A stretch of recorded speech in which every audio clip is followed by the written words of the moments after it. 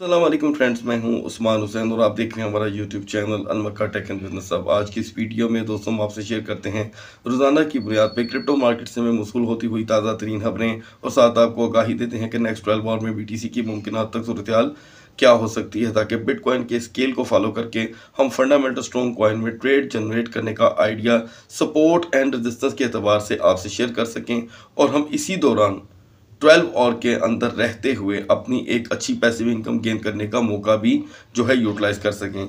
Guys आज की इस वीडियो में मैं आपको बताने वाला हूँ कि सोलाना पर एक और बोझ डाल दिया गया है। क्या है वो बोझ? जिसकी वजह से सोलाना के प्राइस आज रिकवर नहीं कर सके और वो अपनी रिसेंट सपोर्ट तोड़ते हुए दिखाई दे रहे हैं। तो इस पर मैं बात करूँगा। जितने भी हमारे दोस्त यहाँ पे सोलाना होल्डर हैं, उनके लिए ये न्यूज़ बहुत ज़्यादा अहम होगी। यहाँ पर क्या इस वक्त इसमें बाइंग करने का मौका हमारे पास है या निकल जाना चाहिए, इसके ऊपर भी मैं आपको आगाही दूँगा। तो आपने क्या करना है, वीडियो को करना है लाइक चैनल को करना है सब्सक्राइब अगर आप चाहते हैं कि आने वाले दिनों में आपसे हमारी किसी भी एक वीडियो का नोटिफिकेशन मिस ना हो तो बेल आइकन के बटन के साथ साथ ऑल के बटन को भी क्लिक कर दीजिएगा। गाइस यहाँ पर हम देख रहे हैं कि मार्केट में सरमाकारी की शक्ल में मुसलसल कमी वाक़ हो रही है। दो से तीन बिलियन डॉलर का सिर्फ़ खेल रह गया है। इतना ही प्लस और इतना ही माइनस होता है और मार्केट में जो आल्ट कॉइन्स हैं, वो इस दौरान अपनी पोजीशन मजीद खो देते हैं। तीन चार बिलियन डॉलर की कमी या इजाफा। बड़े कॉइन को दोस्तों को इतना डिस्टर्ब नहीं कर रहे, जितनी आल्ट कॉइन की पोजीशन यहाँ पर डिस्टर्ब हो रही है, क्योंकि आल्ट कॉइन जो है वो अपना मार्केट का जो एतबार है, वो खोते चले जा रहे हैं। और फियर फैक्टर मैं आपको स्टार्ट में ही बता दूँ, वो डे बाय डे इन्वेस्टर के दिल में बैठता चला जा रहा है। ज़ाहिर बात है मैं आपको इस पर ये भी बताऊँगा दोस्तों, आज बीटीसी पे कैंडल चार्ट पे जा करके कि वो कौन सा लेवल है जिस पे इस वक्त ट्रेडर वेट कर रहा है कि बीटीसी आता है तो बाइंग करनी चाहिए। सो गाइज़ यहाँ पर इथीरियम और बीटीसी के प्राइस में कोई चेंजिंग देखने को नहीं मिल रही। अलबत्ता यहाँ पर आर्ट कॉइन जो है, वो क्रैश होकर कुछ रिकवर भी हुए हैं। इसी दरमियान बहुत ही कम ट्रेड का मार्जिन रह गया है। जैसे हम रूटीन में पचास सेंट, सत्तर सेंट, अस्सी सेंट और चार चार डॉलर के भी कुछ कॉइन आपसे डिस्कस करते रहे हैं। आई होप कि एक दो दिन तक मार्केट में ऐसी कोई हवा ज़रूर चलेगी, क्योंकि इसे आज मार्केट में रहते हुए ग्यारहवा दिन है and it's too much long and prolong यहाँ पर बीएनबी ने दोस्तों हमें सिर्फ़ वन पॉइंट ज़ीरो सिक्स की ट्रेड दी है, करीब एक डॉलर की। हमारी BNB की सपोर्ट एंड रेजिस्टेंस थी दोस्तों टू सिक्सटी फोर से टू एटी फोर वो अभी भी वही रहेगी। टू सिक्सटी फोर या आप इसे थोड़ा सा और लो कर सकते हैं टू सिक्सटी टू कर सकते हैं, लेकिन एग्जिट का जो मैक्स लेवल होगा, वो वही रहेगा। अब बढ़ते हैं एक्सआरपी में। आज का पहला सेशन है दोस्तों, कि हम देख रहे हैं कि कार्डेनो के साथ साथ एक्सआरपी भी यहाँ पर डाउन हुआ है, और इवन के पॉलीगोन मैटिक भी। पॉलीगोन मैटिक ने 84 सेंट का लो लगाया है, जो कि मार्केट के तीन से चार हाईली प्रॉफिट देने वाले टोकन में से एक टोकन था। आज ये भी एक मुद्दत के बाद पचासी सेंट में आया है। कई दोस्तों का ये मानना है कि हम पॉलीगोन मैटिक को अगर अभी बाय कर लें दोस्तों आ, मैं आपको जो बात बीटीसी के चार्ट पे जाकर बताने वाला हूँ मैं आपको यहीं पे बता देता हूँ। मेरी अपनी सोच है इस वक्त कि मैं जो क्रिप्टो में इस वक्त बाइंग करूँ तो उसके लिए बीटीसी का level thirteen thousand five hundred तक मुझे सूटेबल लग रहा है तेरह हज़ार पाँच सौ। क्योंकि अभी इस पे, इस लेवल पे हमें खड़े काफ़ी दिन हो गए हैं और ये मार्केट अपना क्राइटेरिया पूरा कर चुकी है क्रैश करने का। लेकिन फिर भी क्रैश नहीं हो रही, ये मेरे लिए भी सवालिया निशान बन रहा है, ठीक है? इसीलिए अगर बात करें क्राइटेरिया की तो ऑल क्राइटेरिया इज़ कंप्लीट अब बात कर लेते हैं दोस्तों सोलाना की, जो बहुत अहम मौजू बन चुका है। गाइस मेरे पास इस वक्त एक न्यूज़ है, जिसको टीथर पे टीथर ने इस वक्त अपने ट्विटर अकाउंट पे भी वो न्यूज़ चला दी अगर आप मतलब मैं अब ये उसको भी बैकग्राउंड पे चला दूँगा। वो एक ट्वीट है कि टीथर ने अपना जो सारा सारी इन्वेस्टमेंट थी, वो उसने इस वक्त सोलाना की ब्लॉकचेन से उठाकर उसने कन्वर्ट कर दी है। यानी कि कन्वर्ट कह दें कि मतलब ट्रांसफ़र कर दी है इथीरियम की ब्लॉकचेन पर। अब इस रकम का वहाँ पर मुंतकिल होना टीथर की तरफ़ से, ये ये सोलाना के प्राइस के लिए एक और बड़ा दचका है, ठीक है? सोलाना के प्राइस यहाँ पर गिर रहे हैं। उसकी रीज़न ये है कि लोगों का एतबार कम हो रहा है। सस्पेंशन आर्डर क्यों जारी हुए, इसकी वजह अभी तक नहीं पता चली। बताई भी नहीं गई तो उस वजह से अब टेथर जैसी चीज़ यहाँ पर उठ के अपने आप को यहाँ से क्लियर कर देती है। तो मैं समझता हूँ कि यहाँ पर सोलाना को एक बड़ा धचका लग सकता है।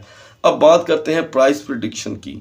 गाइस मुझे ऐसे लग रहा है कि सोलाना जो है, ये मेरी ज़ाती राय हालाँकि सोलाना किसके वॉलेट में नहीं होगा? मेरे ज़ाती वॉलेट में भी पड़ा हुआ है, ठीक है, जिन दिनों इसमें अप एंड डाउन चला, लेकिन अच्छी बात यह है कि जिस दिन ये क्रैश हुआ, उसी रात नौ बजे जब सीजी ने दोबारा अपना ट्वीट वापस लिया और उसे कहा कि मैं एफ़ के साथ वर्क करूँगा तो इसने दोबारा हाई लगाया और अच्छे खासे हमारे दोस्त एग्ज़िट करने में कामयाब हो गए और कईयों को यहाँ पर पता नहीं चला।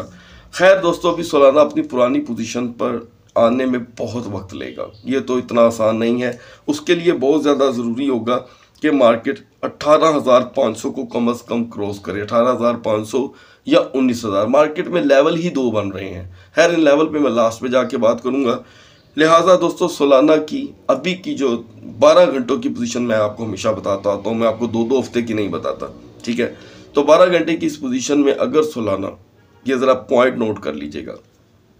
13.45 पे नहीं आ पाता। This is the main point of the video तेरह अशारिया पैंतालीस पर नहीं आता सोलाना इसी दौरान, और बी टी सी भी सोलह हज़ार छः सौ तक ही रहता है। तो फिर सोलाना के लिए बड़ी ख़तरे की बात होगी। सोलाना फिर मुझे ऐसे लग रहा है कि ट्वेल्व ट्वेंटी पे अपनी सपोर्ट बनाएगा, और उसके बाद अलेवन एटी और ट्वेल्व ट्वेंटी के दरमियान इसकी पोजीशन रहने वाली है। नेक्स्ट तकरीबन 12 घंटों के दरमियान। और उसके बाद की जो रिपोर्ट होगी, वो मैं आपको बाद में प्रोवाइड करता रहूँगा। ये है दोस्तों, अब तक की सोलाना की रिपोर्ट। अब बढ़ते हैं एलटीसी पे। जैसे कि मैंने आपको बताया था गाइस कि एल ही है उन टोकनों में से एक टोकन जो मुसलसल ट्रेड दे रहा है। सो यू कैन से सी कि यहाँ पे एल ने इकसठ इशारिया अस्सी से चौंसठ इशारिया बीस का हाई लगा दिया है। अब फ़िलहाल एलटीसी दोस्तों मजीद पंप कर जाए तो ये लक है, लेकिन इसके अंदर एंट्री इकसठ डॉलर से पहले नहीं बनती। Sixty one to sixty three point eighty, और ये भी एक चीज़ दिन में रखते हुए कि अगर यहाँ पे मार्केट क्रैश करती है तो बुरा इम्पैक्ट आ सकता है आपकी बाइंग पे।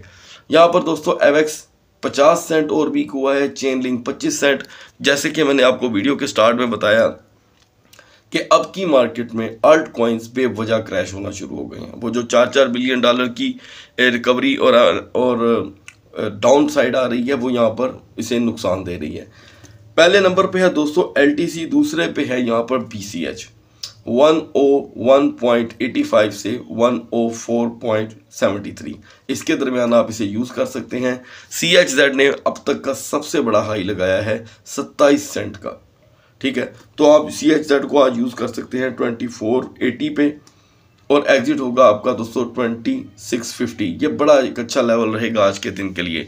सो गाइज़ यहाँ पर इसके साथ मार्केट में क्यू एन टी फ्लो जितने भी फंडामेंटल स्ट्रॉन्ग वाइन हैं, वो अभी टूट रहे हैं.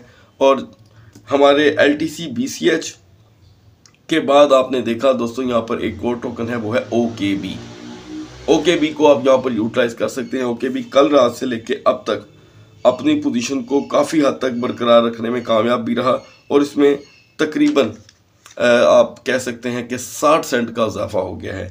19.74 पे थी इसकी रात मार्केट और अभी भी इसमें इजाफा हो रहा है। तो आप इसके, क्योंकि ओके एक्स वो एक्सचेंज थी दोस्तों, जिसने सबसे पहले अपने रिज़र्व शो करने की चाहत, यानी कि कबूल की और तकरीबन इनका जो सिस्टम है वो मार्केट में किसी हद तक अपनी पहचान दिलाने में कामयाब हो रहा है।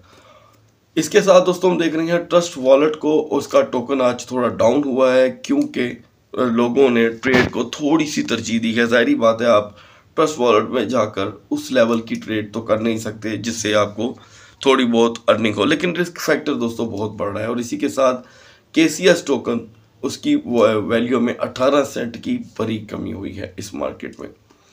आगे बढ़ते हैं दोस्तों, कुछ हमारे व्यूवर्स की हमसे रिक्वेस्ट थी। कि हमें कुछ ऐसे टोकन बताए जाएँ जिनसे हम डेली अर्न करें।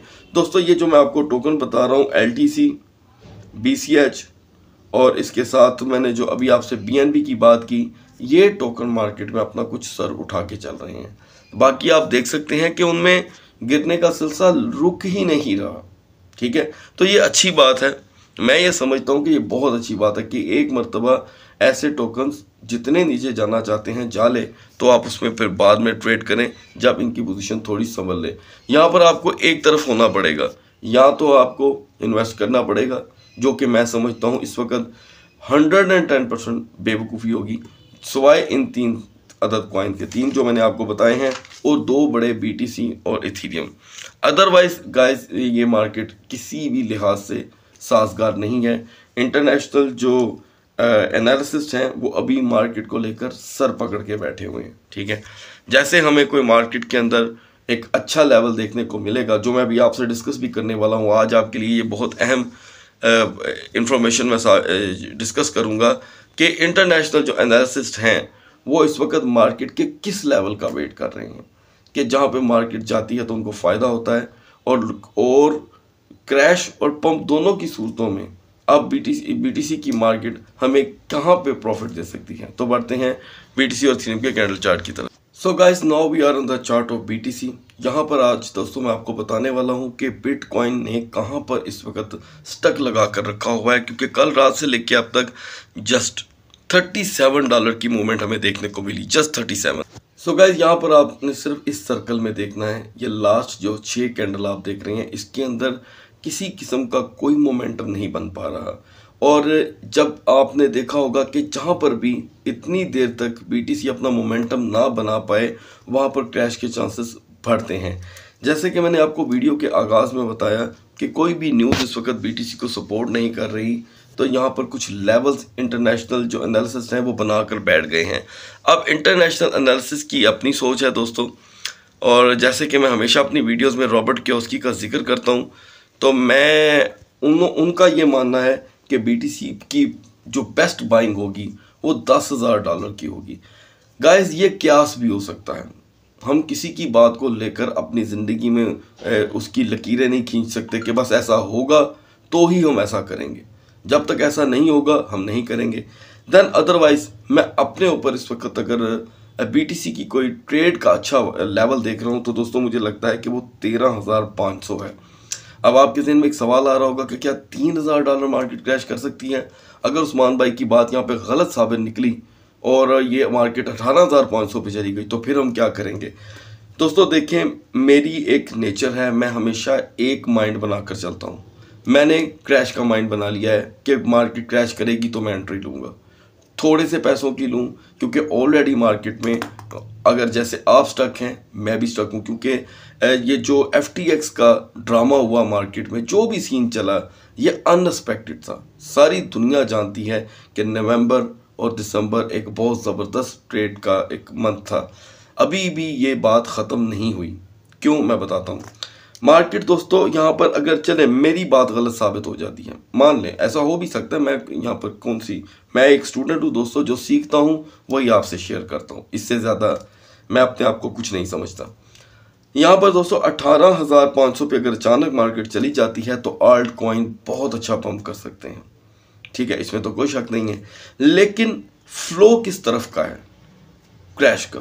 अचानक मार्केट क्रैश करती है तो बाइंग के लिए आल्ट कॉइन की क्या सूरत हाल हो सकती है, आपको अंदाज़ा भी नहीं है। ठीक है, हमने पंद्रह हज़ार पाँच सौ पचास का एक आखिरी लो देखा हुआ है।